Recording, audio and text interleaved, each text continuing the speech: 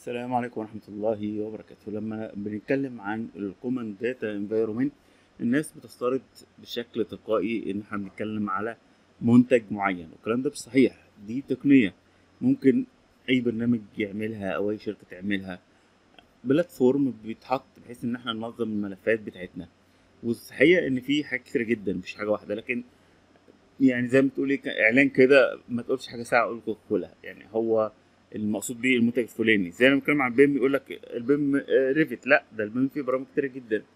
فلذلك حبينا نشوف المقارنة ديت. آه، المقارنة دي عاملها مهندس اسمه سيد عماد. آه، دي لقيتها على LinkedIn. بيقول لك إن في تطبيقات كتيرة جدا بتشتغل على إنها common data environment وال BIM مش ال Revit بس لا ده في حاجات كتيرة جدا. وفي حاجات كتيرة جدا بتشتغل أونلاين في حاجات كتيرة إمكانياتها قوية في حاجات تانية بتسمح لك إن أنت تشتغل على حاجات غير Revit في حاجات بتشتغل بامتدادات مختلفة كتيرة جدا. وده اللي إحنا لازم إن إحنا نفهمه. لأن لو أنت مقتنع إن مفيش غير غير ده وملوش بديل فأنت هتدفع في أي مبلغ. إنما لما تعرف إن في بدايل ممكن يكون سعرها أقل فأنت حسب ال budget بتاعتك وحسب المشروع تقدر إن أنت تختار من البدايل. يعني ممكن يكون مشروع آه في فايد في الفلوس فممكن نشتري حاجة غالية.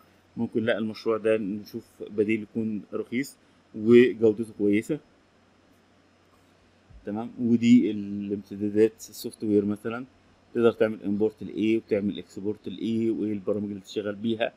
يعني هتلاقي مثلا حاجات خاصة بال ArchiCAD حاجات خاصة بال Revit حاجات خاصة بتتكلم على Aconex في حاجات بتشتغل ب Usbim و Usbim من الحاجات اللي الأسعار بتاعتها معقولة أسعارها رخيصة.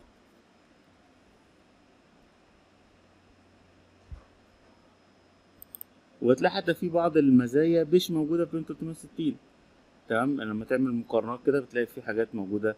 مثلا إن أنت تقدر تعمل clash detection موجودة في الأول بلان موجودة في الترمبليت كونكت موجودة في الأسيت موجودة في الفيو بوينت موجودة في اليو إس بيم موجودة كمان في البيم كولاب في موجودة في البيم سترا وهكذا. بتلاقي إن إن إن مش شرط يكون حاجة متوفرة فيها كل المزايا. لأ ده في حاجات بيبقى فيها هنا أقوى وهنا أضعف ودي فيها مزايا ودي فيها عيوب. ودي فيها إمكانيات كويسة ودي فيها إضافات فلازم نكون عارفين إن إن إن في بدائل تانية كتيرة. يعني Microsoft Office كويس لكن لما تدور بتلاقي ليه بدائل كتيرة. أنا شخصيا شاري Microsoft Office يعني مش المشكلة في الفلوس لكن أنا بستخدم حاجات تانية بديلة بالنسبة لي أفضل زي مثلا Google Documents بالنسبة لي أفضل بكتير لأن أنا أقدر افتحه من أي مكان وأسهل بالنسبة لي في التعامل. رغم إن أنا شاري بين Office 360 يعني المشكلة مش في الفلوس لكن في في التعود أو في في المزايا اللي مديها لي إن أنا بسطب بعض البرامج اللي اتعودت عليها وهكذا.